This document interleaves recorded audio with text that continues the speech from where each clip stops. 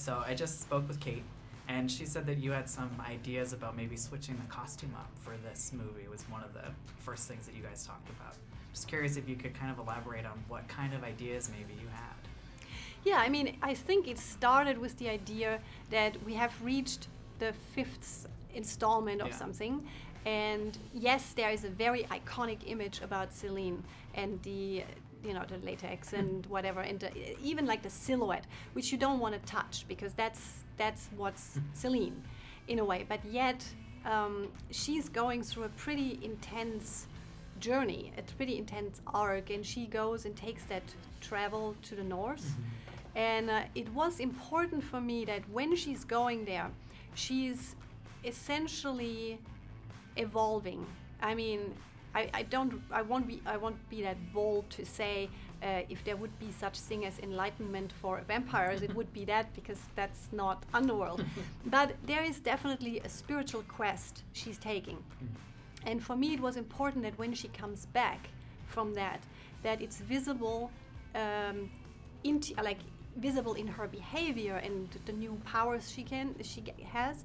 But as well, it was very important to me that there is a visual um, change.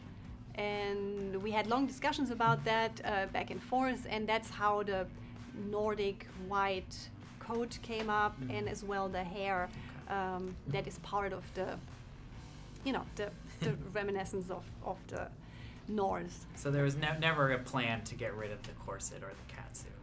No, no, no. I think that would be a I think that would be a big mistake Yeah. because the corset and the catsuit is, as I said, that's iconic. I mean, Yeah. that's what if we think Selene, we think that.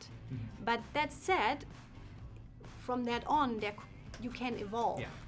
without losing it. Yeah. For you coming in as the first female franchise director up in this Underworld, you know, series, was there a different perspective that you think you brought to it that wasn't there before, or things that you really wanted to change and kind of put your mark on? Well, I would be careful with saying things I wanted to change, but I would say I was it was important for me to emphasize on Selene and her character and her suffering Yeah. and all those things with a very I would almost say intimate look. So I was trying to be closer to her in in the way we observe her or in the way we feel her. So sometimes uh, we are maybe not as removed from her as we used to be in the other uh, ones. Where I think we're getting a, glimpse into her interior a little bit more. I was thinking when I saw the movie that you, she seems more human, or you see more humanity than you have before from her character. Yeah, I think there's a vulnerability about it Yeah. uh, because of her being a mother, because of her, you know, all the losses she had, but as well the idea that she had enough of the fight. She had enough, and what does that mean for somebody who defines themselves as a warrior?